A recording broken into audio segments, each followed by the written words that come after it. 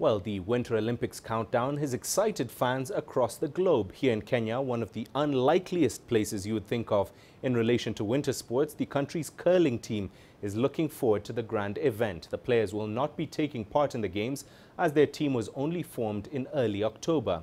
But they hope that the Beijing 2022 Winter Games will be the kind of event that they'll be taking part in in the future.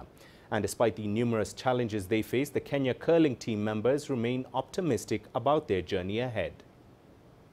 We are really hoping to participate, uh, but, but I think we are going to need some more help from our government because we cannot continue practicing here and the game is going to be played on ice.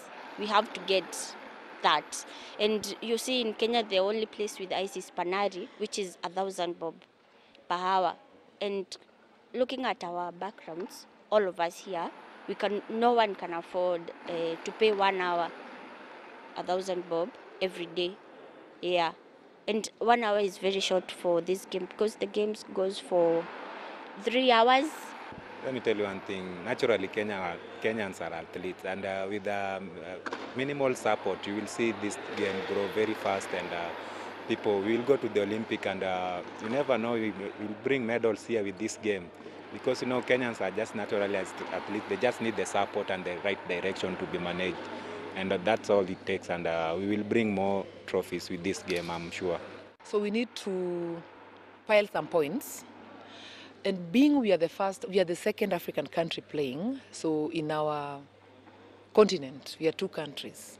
So this is, now is going to be left to the World, World Curling Federation to decide. But now we need to like assemble a team, send them anywhere, maybe in Japan, uh, Canada, Australia, for training, or in Europe, for them to be able to train. That's why there's Denmark team here. They've come also to in, in partner to support us yeah, in solidarity so that we can also grow very fast. They have sacrificed their time just to come. If they were very happy to hear that Kenya is one of the countries playing.